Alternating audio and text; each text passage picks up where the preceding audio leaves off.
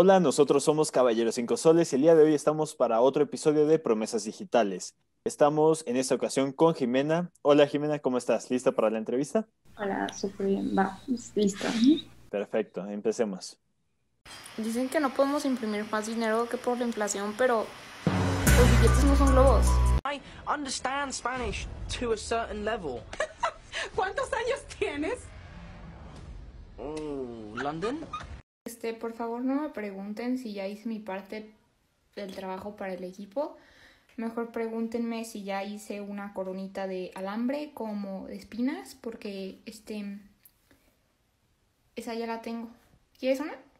Y pues, si estás en mi equipo, esto es un chiste y ya la había hecho. Por favor, no me saquen del equipo. Gracias. De antemano a todos nuestros suscriptores les agradecemos que estén en nuestra sección de promesas digitales. Si eres nuevo aquí, agradecemos que dejes el me gusta en la página y comenzaré con la primera pregunta. Coméntanos un poco sobre tus redes sociales, por qué las abriste, para qué las abriste, si solamente fue hobby o algún trabajo escolar. Cuéntanos un poco sobre eso. Ah, bueno, por ejemplo, Instagram lo empecé porque, o sea, lo empecé hace mucho porque todas mis amigas lo usaban, pero como que nunca lo he usado para que sea fuente de entretenimiento así. Eso es TikTok, que es donde empecé a subir más videos, porque pues en sí ahí nadie me conocía, más que los que me fueron encontrando y era como que, ay Dios, qué, qué pena. Entonces, TikTok lo empecé a usar además porque estaba aburrida. Y, por ejemplo, yo quería iniciar un canal de YouTube hace mucho tiempo, pero la edición me daba mucha flojera en muchas veces. No flojera, pero se me hacía muy tediosa la edición y entonces vi que TikTok era como más un proceso de edición más corto y, o sea, puedes hacer más cosas en menos tiempo. Y en esa parte de los TikToks, ¿cuál es tu inspiración para hacer un TikTok? Un TikTok común, eh, ¿de dónde te inspiras? ¿De videos que vas viendo? ¿De cosas que se te ocurren en el día al día? ¿Cuál es tu inspiración para estos videos? Me gusta usar Twitter. Y en Twitter era donde pienso como, no, o sea, no donde pienso, pero donde pongo mis pensamientos más, como que mm, me salen así de que, ¿qué pasaría si? Entonces un día dije que bueno, que tal si en vez de escribirlo, nada más lo digo. Y a veces TikTok es como una mezcla de mis pensamientos, de como cuando me distraigo en clase y termino como en un tren de pensamiento muy extraño. Por ejemplo, el otro día hice una cosa de los números, de que no manches los números. Entonces puede ser eso, pueden ser POVs. Me gusta hacer muchas cosas en TikTok. No es como que una sola cosa. Ya que nos comentas un poco sobre la escuela, sabemos que ya estás en la parte universitaria. ¿Qué estás estudiando? Eh, estoy estudiando nutrición. Ok, ¿por qué elegiste nutrición? Porque recuerdo que tuve una conferencia, no fue una conferencia, eh, con, en prepa nos llevaron a Querétaro para poder conocer hospitales y poder conocer a más expertos de la salud. Y ahí fue donde conocí a una nutrióloga y ella se especializaba en pacientes deportivos, o sea, en deportistas pues, y me pareció muy interesante cómo funciona el cuerpo y cómo la nutrición puede ser medicina preventiva. Entonces dije, wow, está muy padre. Y aparte mi hermana es nutrióloga. Entonces fue como que, wow, pues está todavía más padre. Correcto. Eh, obviamente ya eres parte del staff de Caballeros Cinco Soles. Vimos tus videos promocionales. Sabemos que te gusta mucho el arte. ¿Tiene algo que ver con la nutrición? No mucho, pero nos gustaría saber por qué esa, ese cambio de cultura a nutrición. El arte lo veo más como un hobby, como un interés y la nutrición, pues, o sea, pues sí deja también, pero no lo hago nada más por el dinero. Lo hago porque, pues, muchas enfermedades, muchas cosas se pueden prevenir si cambias tu forma de alimentación o tu estilo de vida. También, o sea, el, o sea, el arte es un hobby, la nutrición puede ser algo más para mi vida profesional. Considerando esto de visión a un futuro, ¿cómo ves ¿Cómo te ves en un futuro manejando el tema de la nutrición, el arte y las redes sociales, en este caso TikTok, que es donde estás más activa? Eh, pues no he pensado mucho en un futuro para TikTok. Sé que TikTok es por el momento. Eh, en cuanto a nutrición, pues me gustaría dar consultas a deportistas y pues de arte en un futuro siempre me ha, me ha gustado y me gusta la idea de coleccionar arte o si es posible tener una galería de arte. Pero okay. más pequeño por una colección.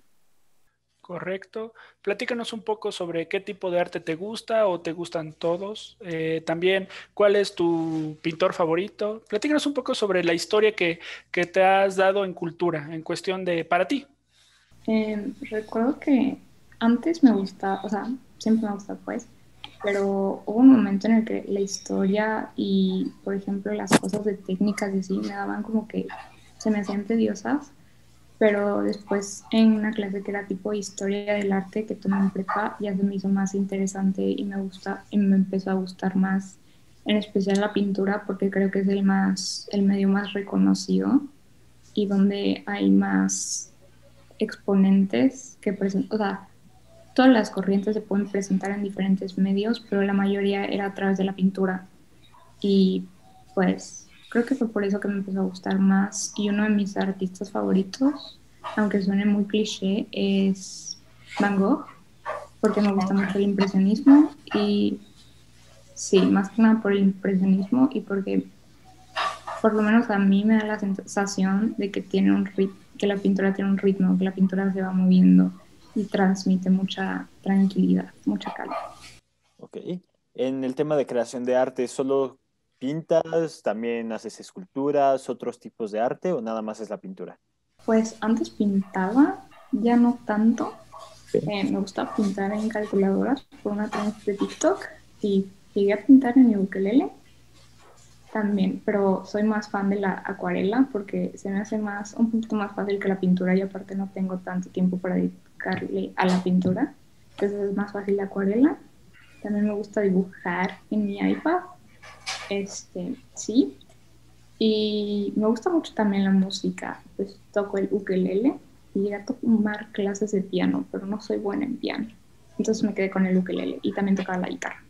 Eh, me gustaría ahora platicar un poco sobre tu pintor favorito. Hablaste de Van Gogh. Eh, sabemos que es obviamente muy reconocido, sabemos que sus pinturas están alrededor del mundo, algunas pues son falsificadas mucho, pero me voy a la parte del sentimentalismo. Él pues tuvo un problema, algunos dicen que es trastorno, podemos llegar a muchos temas sobre ello, pero ¿tú crees que si él no hubiera tenido este problema emocional, hubiera podido pintar lo que pintó? Mm, es una pregunta bastante interesante. Yo creo que él pudo haber pintado, pero no lo conoceríamos como hoy lo conocemos, porque cada, no es una decisión per se, pero cada cosa que haces te lleva a un camino distinto entonces tu resultado podría ser diferente. Por lo menos eso es lo que pienso yo. Tú personalmente, ¿de dónde tomas la inspiración para las obras que haces? Eh, pues no hay algo en específico, es más que nada el, el sentimiento que quiero transmitir. Por ejemplo, si quiero hacer que algo se vea divertido, como que funky, colorido, usualmente veo las, veo las caricaturas de inspiración. Si quiero hacer que algo se vea más serio, pienso en una paleta de colores y pues así. Ok, yo soy un fiel creyente de si tratas de escribir, actuar, representar, ilustrar algo, pues tienes que sentirlo. Entonces, bueno, en mi ocasión y en mi opinión personal, quiero pensar en cosas alegres, trato de alegrarme, estoy tratando de escribir algo triste o algo representable triste, pues trato de ponerme música que me ayude con eso. ¿Tú crees que eso engloba algo para que funcione mejor lo que tratas de representar? Sí, porque no puedes escribir de estar triste sin haber estado triste. No puedes, por ejemplo, es, o sea, me acuerdo muy bien de esto porque lo vi en una película que me gustó mucho. la Hombre Escarlata. Entonces, el, no me acuerdo cómo se llama, Tom Hiddleston le dice a Mia Wasikowska que no puede escribir, que ella escribe de alguien que perdió, pero no lo puede hacer porque ella no ha perdido a nadie. Entonces no sabe cómo se siente, entonces ¿por qué lo escribe? Es un muy buen punto. No podemos sacar inspiración de la nada, por así decirlo. Y tomando eso, esa línea de pensamiento, ¿tú tomas inspiración de otras obras de arte? Por ejemplo, es muy conocido este término de eh, si uno quiere hacer algo, por ejemplo, pintar y ser muy buen pintor, comúnmente empieza copiando las obras de arte de otras personas y de ahí ir creciendo poco a poco hasta que encuentra un estilo propio. ¿Tú has llevado este proceso o estás en este proceso o empezaste directamente con algo propio? No, porque siempre tuve en cuenta, o sea, no existe algo como que, pienso que no existe algo propio bien de que sea de ti, porque pienso que ya todo se inventó, ya todo está hecho. Entonces, en sí, si tú piensas algo, alguien ya lo había pensado. Y pues, por ejemplo, yo empecé a dibujar y aprendí a dibujar por Isla del Drama. No sé si se acuerdan. Me suena. Sí, sí, sí. ¿El programa de animado? Ajá. Ok, sí, sí. Entonces, yo quería dibujar así y ya después de eso fui aprendiendo más o menos cómo dibujaban y ya de eso fui desarrollando un estilo propio entre comillas, porque no es como que propio mío. Bueno, por lo menos yo no considero que es mío totalmente. Para seguir con esto, te voy a interrumpir rápidamente, lo que regresa la idea a ti. ¿Qué haces cuando tienes un bloqueo de, de artista?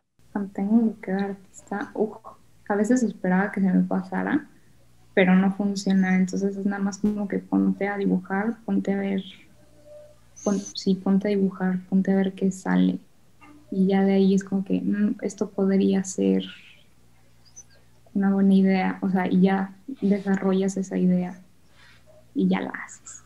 Ahora vamos a pasar a una sección de preguntas rápidas. Este, Alex y yo te vamos a ir preguntando. Tú trata de contestar lo más rápido posible. ¿Estás lista? Sí. Excelente. ¿Color favorito? Negro. ¿Libro favorito? Ah, cuando te vuelvas real. ¿Hamburguesa o pizza? Ah, pizza. ¿País favorito? Mm, Londres. Oh, muy bien. Eh, sí, claro. Está bien. ¿Animal favorito? Ay, siempre pienso, zorros. ¿Estética favorita? como Dark Academia. Ok. Correcto. Eh, ¿Estilo favorito como estilo gótico, algún tipo de estilo? Ay, me gusta mucho el gótico, por ejemplo. Sí, gótico. Ok, comedia o drama. Comedia. ¿Escribir o pintar? Pintar. ¿Película favorita? Ah, día de pinta. ¿Día lluvioso o día soleado? Lluvioso. ¿Día o noche? Noche. ¿Salir a la playa con amigos o quedarte en tu casa a ver una película? Eh, pues depende, pero usualmente quedarme a ver una película. ¿Dios favorito? Persephone. ¿Cultura preferida? No se me viene ninguna a la mente ahorita. No te preocupes. Creo que vamos a dejar esta sección de preguntas rápidas por aquí y yo quisiera preguntarte en este tema de la cultura, eh, ¿cuál ha sido tu, tu manejo en esta área? ¿Cuál ha sido tu estudio en esta área? Porque muchas veces, por ejemplo, eh, las personas que han leído Percy Jackson, por ejemplo, se han interesado muchísimo en la cultura griega. Todas las personas, al menos creo yo, todas las personas, todas las personas han tenido su momento en el que les interesa muchísimo alguna cultura. ¿Tú has tenido alguno de estos momentos de inspiración? Mm, ahorita que dices Percy Jackson, sí, pero no con Percy Jackson. Eh, fue con Lord Olympus, un webtoon y me empezó a gustar la mitología griega. Sí, y también me acuerdo que una vez vi la película de Avengers, pero eran las de sus hijos, no me acuerdo cuál. Ah, ok, ok.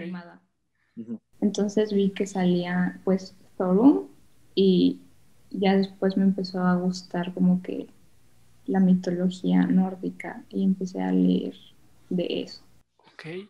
Creo que hemos aprendido un poco más sobre ti, sobre tus gustos. Y para concluir esta, Excelente entrevista. Me gustaría saber en qué redes sociales te podemos encontrar. Em, me pueden encontrar en Instagram, Twitter y TikTok como Jimena Barbs. Perfecto. Nosotros somos Caballeros 5 Soles y nos pueden encontrar en Instagram, TikTok, Facebook y YouTube como Caballeros 5 Soles, 5 con número. Muchísimas gracias por la entrevista. Gracias. Nos vemos.